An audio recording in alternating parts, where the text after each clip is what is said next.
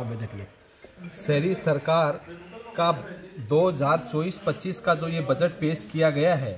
ये एक दिशाहीन, विजनहीन और सीकर के तीन लाख जो आबादी है, उसको दिग्भ्रमित करने वाला है। इस बजट के अंदर कुछ नहीं है, फिर एक बार से